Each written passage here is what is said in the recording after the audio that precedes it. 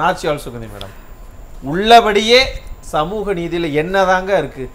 திமுக கூட்டணிக்குள்ள என்னதாங்க இருக்கு? கொஞ்சம் சொல்லுங்க. திமுக கூட்டணி இது இந்த மெஜாரிட்டேரியன் தியரின்னு ஒன்று இருக்குது ஆ, திமுக வந்து பலம் எல்லா வகதினும் பணபலம் படைத்தவர்கள் அதிகார பலம் மிக்கவர்கள் ஆள் பலம் மிக்கவர்கள். மெஜாரிட்டி. மைனாரிட்டி யார் அப்படின்னீங்கன்னா அந்த கூட இருக்கிற கூட்டணிகள். அதில் கம்யூனிஸ்ட்டுகள் ரெண்டு கம்யூனிஸ்ட்டு. இவர்கள் கொஞ்சம் மைனாரிட்டி அந்த இஸ்லாமிய கட்சிகளும் பிசிகேவும் மைனாரிட்டியிலும் மைனாரிட்டி. அப்போ இந்த மைனாரிட்டிலையும் மைனாரிட்டி வந்து அவங்களோட ரைட்ஸை போய் இவ்வளோ பெரிய மெஜாரிட்டி கிட்ட பேச முடியுமா. பேச முடியாது. எங்கே பேசலாம் அப்படின்னா அறிவாலயத்துக்கு வெளியே கேம்பஸில் வந்து நீங்கள் யாராவது ப்ரெஸ்ஸு மைக்கை நீட்டினா அங்கே சொல்லிட்டு போகலாம் அவ்வளோதான் ஏன்னா அது எந்த எஃபெக்டையும் கிரியேட் பண்ணாது.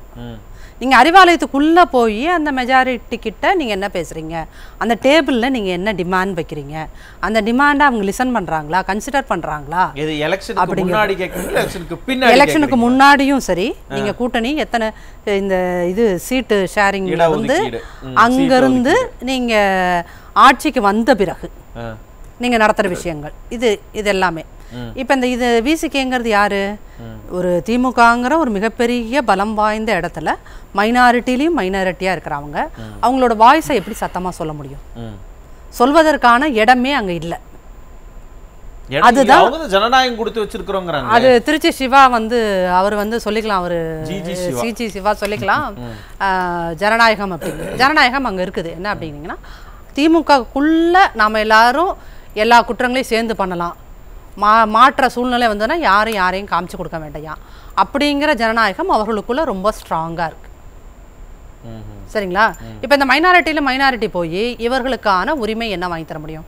இவங்க இப்போ பிசிகே வந்து பட்டியலின மக்களை ரெப்ரசன்ட் பண்ணி அங்கே போகிறாங்க அப்படின்னா திமுக ஆட்சிக்கு வந்த இந்த இரண்டரை வருடங்களில் அட்ராசிட்டிஸ் ஆன் எஸ்சிஎஸ்டி அப்படிங்கிறது பெரிய அளவில் நடந்திருக்கு. இந்த ரெண்டு வருஷத்தில். இது வெறும் இந்த நீங்கள் தென் மாவட்டங்களை மட்டும் கணக்கில் எடுத்துகிட்டு பேசாமல் என்டையர் தமிழ்நாட்டிலும் பொதுவாக இவங்க ஆட்சிக்கு வந்தோன்னே முதல் ஒரு ஆறு மாதங்களில் பிசிகே போய் ரோட்டில் இவங்களோட கொடிய நடைமுறையில் சார். அந்த கொடிய நட்டத்துக்கே கல்வீச்சு நடந்தது. அதுல பாதிக்கப்பட்டதே விசிக்க.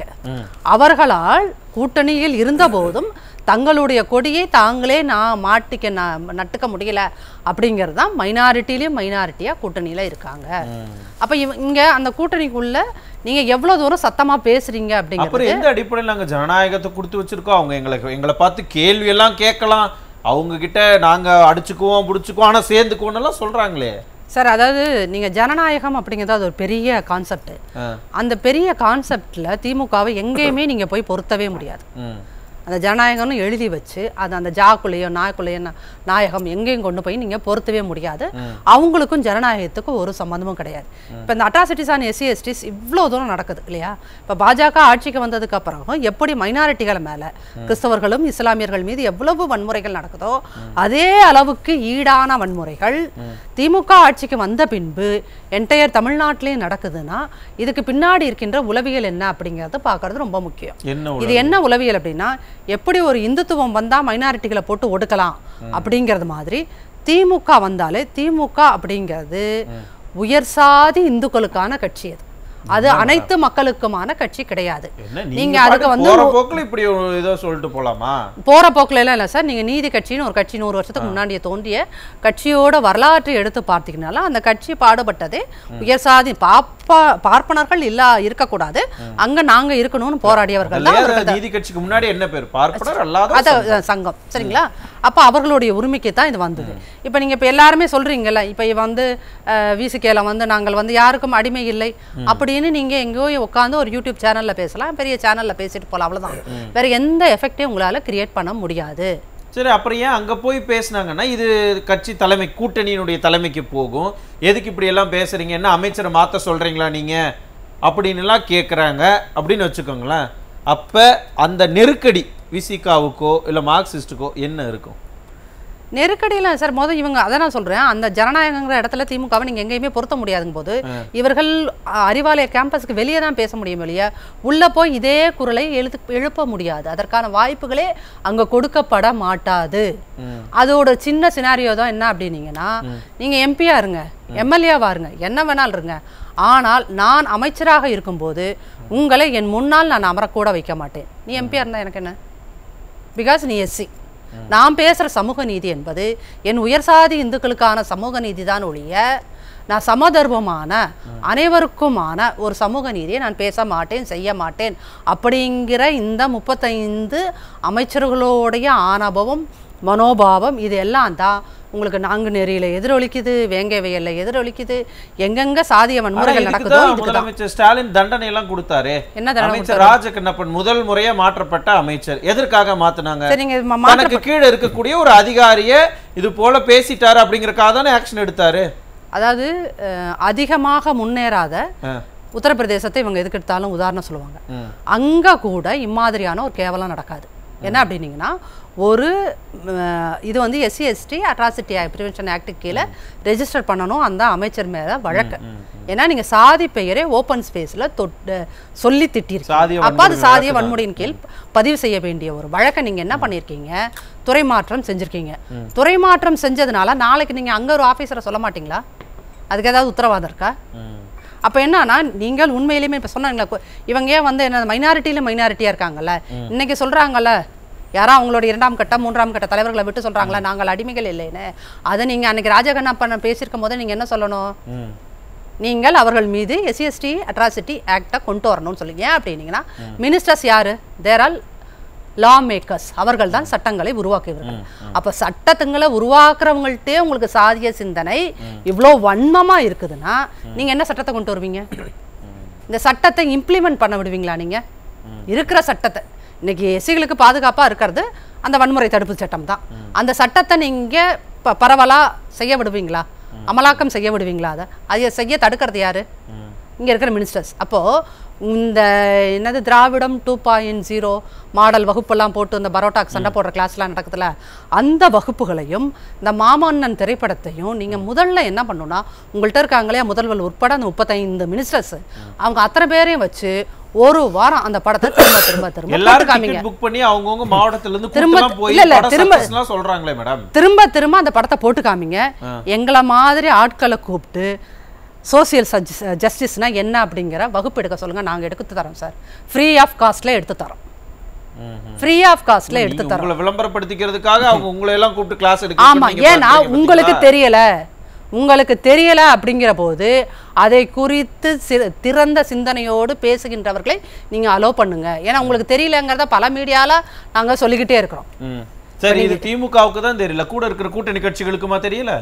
அதான் சார் நான் உங்களுக்கு சொல்லிட்டு அவங்க மைனாரிட்டி இவ்வளோ பெரிய மெஜாரிட்டி கிட்ட போய் அந்த மைனாரிட்டி எப்போதும் எந்த விஷயம் டேபிள் பண்ணாது. இப்படி சொல்லிக்கலாம். மார்க்சிஸ்டுகளும் நீங்க அவங்க சாதிச்ச சாதிச்சன்ல அவங்க லேசா குரல் எழுப்பின ஒரே ஒரு விஷயம் என்ன அப்படிங்க கூட இருந்த அத்தனை பேரும் குரல் எழுப்பின ஒரே விஷயம் அந்த பன்னெண்டு மணி நேர வேலை திட்டம் மட்டும்தான். அந்த விஷயம் அது கூட கடைசியில என்ன சொல்லிட்டாங்க? இது முதல்வருக்கே தெரியாம பாஸ் ஆயிடுச்சுன்னுலாம் நம்ம ஒரு கதையை விட்டோம். சரிங்களா? அந்த அளவுக்கு தான் இது. அப்புறம் நம்ம வந்து. இன்எஃபிஷியன்ட்டான ஒரு அட்மினிஸ்ட்ரேஷன்ல இவங்க இருக்கிறாங்க. அப்படிங்கறத நம்ம சொன்னோம்னா அது அப்புறம் திருப்பி நம்ம மேல பாய்வாங்க. ஆக இது வந்து என்ன அப்படின்னா இவர்களுக்கும் சமூக நீதிக்கும் எந்த தொடர்பும் கிடையாது. திமுக மக்கள் ஒரு விஷயத்தை புரிஞ்சுக்கணும். திமுக எப்போ போதெல்லாம் ஆட்சிக்கு வருகிறதோ நீங்க நல்லா கூர்ந்து கவனிக்கும். அப்போது ரவுடியிசமும் சாதிய வன்கொடுமைகளும் சகட்டு மெனிக்கு எல்லா இடத்துலயும் அதிகரிக்கும். சமூக இப்பொழுது நீதி இரு சார், இருங்க. சமூக நீதின்னு சொல்லி பிராண்ட் பண்ணிக்கிற இந்த வார்த்தையாலேயே கூட்டணி கட்சிக்குள்ள முறிவு ஏற்படுங்கிறீங்க. அது முறிவு ஏற்படுமா? இல்லை அவர்கள் மைனாரிட்டியா இருக்கிறதுனால பொறுத்து போவார்களாங்கிறத அதை நம்ம இன்னும் விரிவா பேசுவோம். கூட்டணி கட்சிகள் திமுகவினுடைய இந்த தவறுகளை புரிஞ்சுக்கிருவாங்களா? சார் கூட்டணி கட்சிகளுக்கு இந்த தவறுகள்லாம் தெரியாமல் இல்லை. ஓ அவங்களுக்கும் தெரியும். கூட்டணி கட்சிகள் திமுக என்கின்ற பெரிய கட்சி செய்கின்ற அத்துணை தவறுகளும் அவர்கள் கூட்டணி கட்சிக்கு தெரியும். திமுக அவங்களுக்கு தெரியுமா? அவங்க எல்லாம் நம்ம மேல எதிர்ப்புல இருக்கிறாங்க. எதிரான மனநிலையில கூட்டணி கட்சிகளா இருக்கிறாங்கன்னு திமுகவுக்கு தெரியுமா? சார் திமுகவுக்கு தான் சொல்ல திமுகவையும் ஆணவத்தையும் அகங்காரத்தையும் பிரிக்கவே முடியாது. அவர்களுக்கு என்ன அப்படின்னா இப்போ வந்து நீங்கள் மார்க்சிஸ்ட் கம்யூனிஸ்டோ அந்த இஸ்லாமிய கட்சியோ விசிகோவோ இவர்கள் எல்லாமே பரம ஏழைகள். ஏழைகளை நம்ம கூட்ட வச்சிருக்கோம். நம்ம இருக்கிறதுலே பணக்காரங்க. அங்க வந்து என்னன்னா இருக்கிறவர் இல்லாதவர் அந்த கான்செப்ட் தான். அவங்க ஒண்ணுமே இல்லாத பராபரிகள். நம்ம கிட்ட எல்லாமே இருக்குது. அந்த பராபரிகள் நம்மளிடம் தான் கையேந்த போகிறார்கள். என்ன மேடம்? அதுதான் சார், அதுதான். உண்மை. தப்பு அப்போ லாஸ்ட் டைம் வந்து இத்தனை இத்தனை. கோடிகள் கொடுத்தோம் அத்தனை கொளுத்திகள் கொடுத்தோன்றத சாரு உரையாடல் ஆரம்பிக்கும் போது சொன்னார் விவாதத்தின் ஆரம்பத்துல சொன்னார் அந்த மாதிரி நீங்க வந்து இது இது ஏன் வந்து நீங்க இவ்வளவு ஒரு கூட்டணியை இவ்வளவு கஷ்டப்பட்டு என்னை அவமதிக்கிறார்கள்? பர்சனலா என்னை அவமதிக்கிறாங்க என்னுடைய இயக்கத்தையும் அவமதிக்கிறாங்க அப்படிங்கும்போது ஒவ்வொரு இயக்க அதுல இருக்கிற எல்லா கூட்டணிகளுமே ஏன் இவ்வளவு கஷ்டப்பட்டு இருக்கிறாங்க? எந்த ஒரு நேரத்திலையும் திமுக செய்கின்ற தவறுகளை சத்தமா மக்கள்கிட்ட போய் சொல்ல முடியாம இருக்காங்க இல்லையா? எல்லாத்தையும் ஏன் பொறுத்துட்டு போகணும்? எலெக்ஷன் நேரத்துல எனக்கு செலவுக்கு காசு வேணும். யார் தருவா? இன்னைக்கு உட்காந்து விவாதத்துல அவமதிப்பு மாதிரி சார் சொல்லலாம். நீங்க வந்து பணம் எலெக்ஷன் அப்படிங்கிறது இன்னைக்கு தமிழ்நாட்டை பத்தி இந்தியாவிலேயே தமிழ்நாட்டை பொறுத்தளவுக்கு. எலெக்ஷன் அப்படிங்கிறது இங்க ரொம்ப காஸ்ட்லியான அஃபேர் சார் ஒரு காஸ்ட்லியான விவகாரத்துக்கு முழுக்க முழுக்க இது பணம் சார்ந்து தான் இன்னைக்கு தேர்தல் அப்படிங்கும் போது என்னிடம் இல்லை அப்படிங்கும் போது கோட்பாடு நம்ம செஞ்ச நல்லது கெட்டது அதெல்லாம் யோசிக்க மாட்டாங்க. கொள்கை கோட்பாடு எல்லாத்தையும் தான் நம்ம அடியோட தோண்டி புதைச்சிட்டு அந்த நேரத்துல பணம் அப்படிங்கிறத கொடுத்தால் அது எல்லாமே சரியாயிடுங்கிற ஒரு மனநிலைமைக்கு எல்லா கட்சிகளும் வந்து விட்ட காரணத்தினால். இடதுசாரிகளும் கூட அப்படியான ஒரு மனநிலைமைக்கு வந்து விட்டார்கள் என்பதுதான் இங்க மிகப்பெரிய துயரம். அப்ப அந்த மாதிரி நேரத்துல பிரச்சனைகள் வருமா? பிரச்சனைகள் வரும். பிரச்சனைகள் இருக்குது. இருக்கு. ஆனால் இதையெல்லாம் தாண்டி இங்க பொருளாதாரம் மிகப்பெரிய பிரச்சனையா இருக்கிறதுனால நான் மக்களோட பிரச்சனைகளை நான் சிறுசாக்கிக்கிறேன். பொருளாதாரத்தை நான் பெருசாக்கிக்கிறேன். அவ்வளவுதான். என்ன அந்த பிரச்சனைகளை தீர்க்கறதுக்கு முதலமைச்சர் என்ன நடவடிக்கை எடுக்க போறாரு? இந்த முழுக போற கப்பலை தூக்கி நிறுத்துவாரா அப்படிங்கறதையும் மக்கள் பார்த்துக்குவாங்க. நம்ம பொறுத்திருந்து பார்க்கலாம்.